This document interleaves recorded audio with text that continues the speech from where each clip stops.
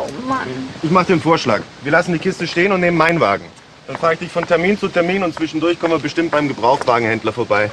Wäre doch gelacht, wenn wir für dich nicht was finden. Ich höre immer wir. Mal, Hab ich Pickel oder eine ansteckende Krankheit? Es gibt Dinge, die muss eine Frau allein machen. Na, steht er wieder mal? Leider.